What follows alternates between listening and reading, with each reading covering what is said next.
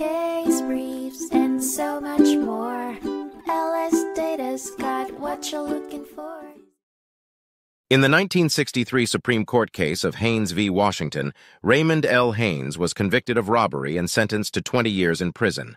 Haynes argued that his written confession was involuntarily obtained through police coercion, which violated his due process rights under the 14th Amendment.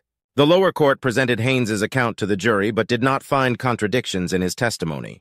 Upon examining the evidence, the court concluded that the police engaged in coercive tactics by denying Haynes the right to contact his wife during the interrogation and failing to inform him of his Miranda rights. Consequently, they deemed the confession involuntary.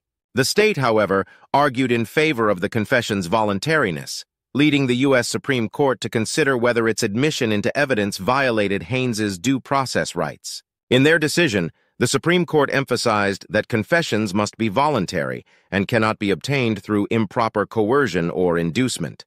They ruled that unconstitutionally obtained confessions require a new trial, even if there is substantial independent evidence indicating guilt. In Haynes's case, the court found that his conviction was marred by official overzealousness and remanded the case for further proceedings, highlighting that coerced confessions are inadmissible even in situations where other evidence corroborates the defendant's guilt. Case briefs, and so much more. LS Data's got what you're looking for. Visit lsd.law, elevate your mind. Leave the stress of class.